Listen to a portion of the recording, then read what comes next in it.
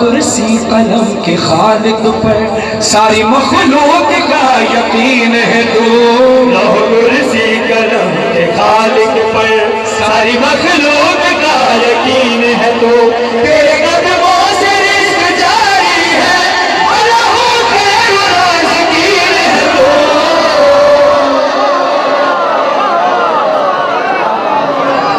हुसैन को गोद में लेकर इशारा किया लम यलिद की कसम अली ने तुझे अपने सीने से जब लगाया है। अब यलिद की कसम अली ने मुझे। अब अली मौला का एक लकब है वजहुल्ला यानी अल्लाह का चेहरा। अल्लाह नहीं अल्लाह का चेहरा। लम यलिद की कसम अली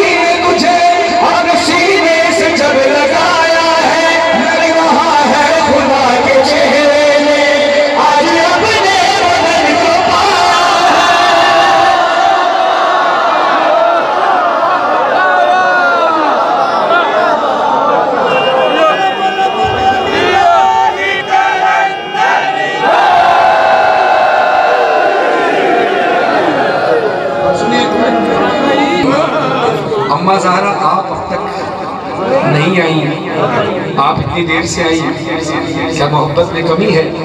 बीबी मुस्कुरा कर कहती है, नहीं, हमारी मोहब्बत, इस माँ बेटे की मोहब्बत की तो मिसाल देगा जमाना।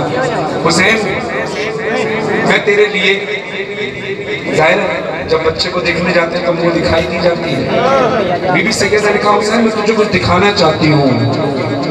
मुँह दिखाई में जनाब सैयदा ने अपनी मुआवजा दिखाया। अल्लाह के हुक्म से अपनी दोनों उंगलियाँ खोली और कहा, हुसैन, मेरी दोनों उंगलियों के दरमियान में देख। तो मौला हुसैन ने कहा, अम्मा, ये आपने मुझे क्या दिखाया है? अब बीबी का जवाब सुनिएगा। मैं ही जा खुदा हूँ, लाल मेरे। मैं ही जा खुदा हूँ, लाल मेरे। दिल है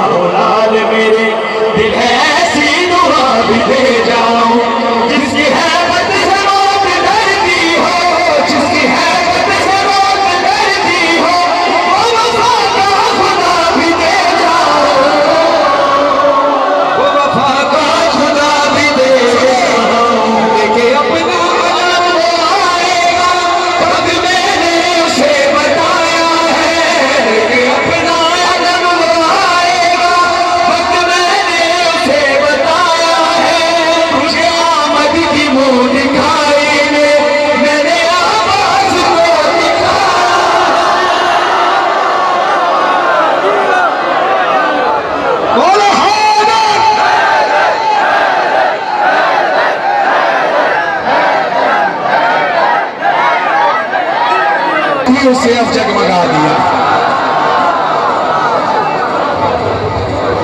पहले ही अहले बैत से रोशन थी कायनात, अकबर ने और भी उसे अब जगमगा दिया।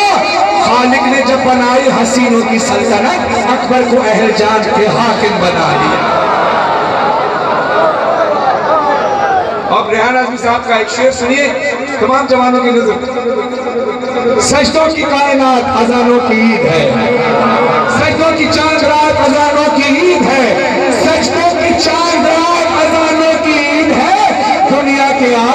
आज सारे जवानों की। आपकी जवानी देखने में वो अर्श वाले, वो वो अर्श वाले जमी पर उतर के देखते हैं। मिश्रा जाया ना हो। अब जब आपने कहा है तो मिश्रा जाया ना हो। सुना है ग्यारहवीं शाबान को मदीने में। अर्श वाले जमी पर उतर के देखते हैं रसूल करते हैं आँगन में शुक्र का सजदा। हुसैन गोद में लेकर पिसर को देखता। हुसैन गोद में लेकर पिसर को देखते हैं। सुना है आमद अकबर का शोर जन्नत में। सुना है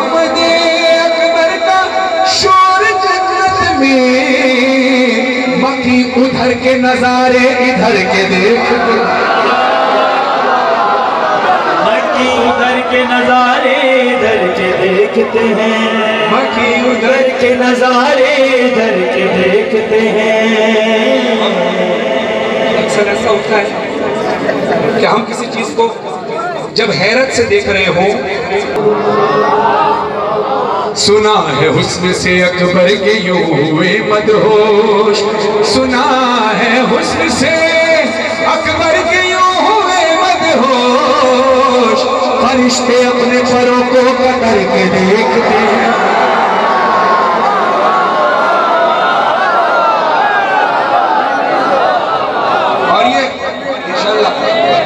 खुदा ये महफिल कबूल है। आप पूछें, मुझसे सवाल करें कि कबूल है, कैसे आप कह सकते हैं? देखिए, हमारे